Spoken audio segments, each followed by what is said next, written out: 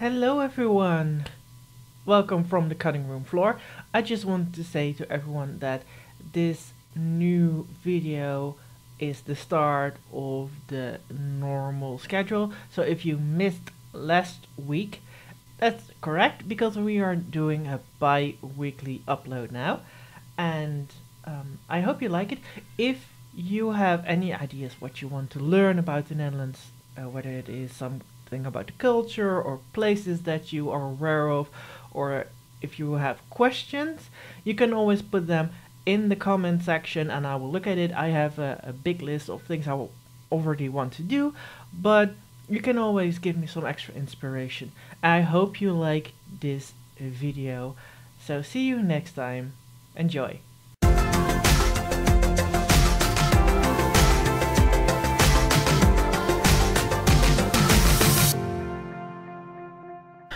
I know this is a very green place, but I'm talking about orange.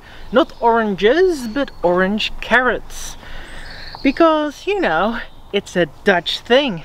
Orange carrots came to be because there were farmers who wanted to be like loyal to the royal family.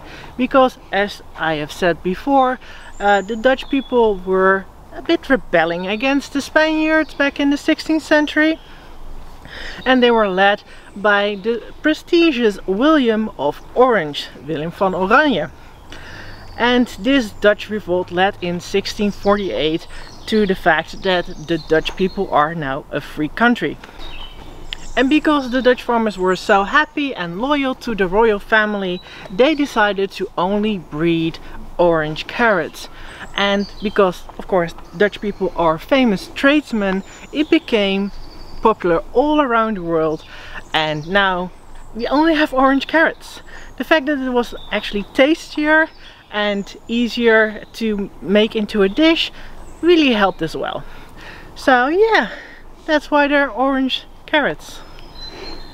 Uh, yeah, if it was true, because it's a myth.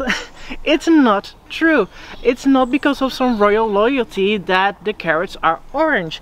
In fact, orange carrots are way older than the family of orange at all. There are manuscripts from the Byzantine period where they described carrots, including the orange ones.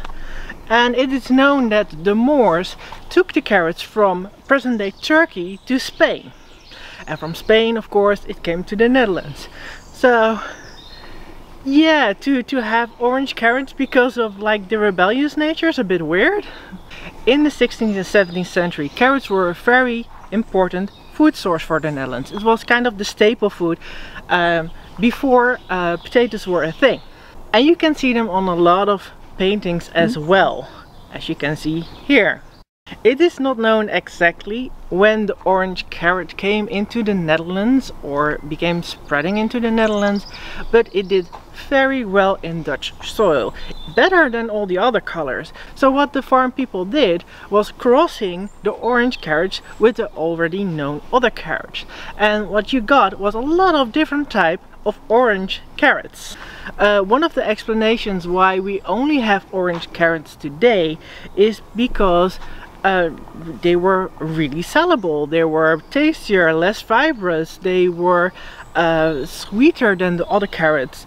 And especially with the purple ones, orange carrots are a lot tastier looking. Um, they don't stain as much. So yeah, they were a really good selling point in the markets. Another explanation for this uh, is also that orange is a very vibrant color and especially in the marketplace of the 16th and 17th century it would have been very vibrant among the greens and the whites and the yellows and the darker colors. Another theory can be that it was just a fad that people liked the orange color and wanted to incorporate them in everything. Like nowadays the old colors are coming back so there are yellow carrots back again the purple ones and the white ones. But whether it was a type of royal loyalty or a fad or whatever I still don't like carrots that much so I'm not gonna eat them. I hope you do. See you next time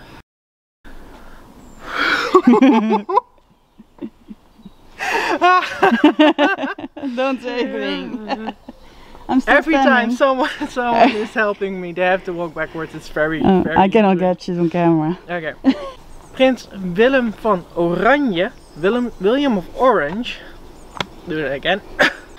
um, in fact, orange carrots, carrots were really one of the staple foods in the Netherlands, and they were. Oof. Very healthy and good for your eyes. That's also a myth. oh really? Yeah. That was a Second World War uh, myth, by the way. That um, people were having the very first night vision goggles, Yeah. and uh, because they didn't want to say that they had night vision goggles, they just told children that it, it was because of carrots that they were having better eyesight. Really? Yeah. That's not a Dutch fact, so I cannot talk about that.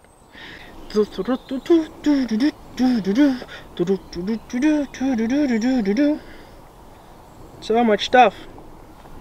And they are sweeter, they are tastier than all the other colors. So what the Dutch farmers did was... Ik had het nog Ken niet jij, gezien eh, net. do you know uh, carrot cake? ja, ik krijg het echt warm.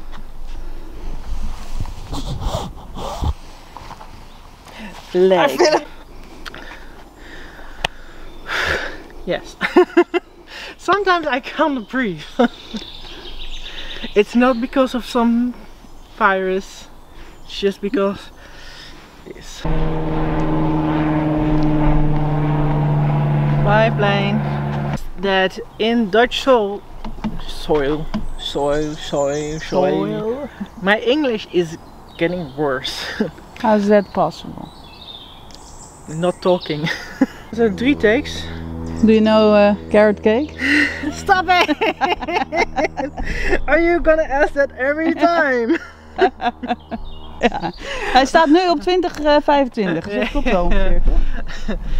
I love it when Tanya says, "Yeah, I think it's recording." After three takes. Okay. Yes. Ow.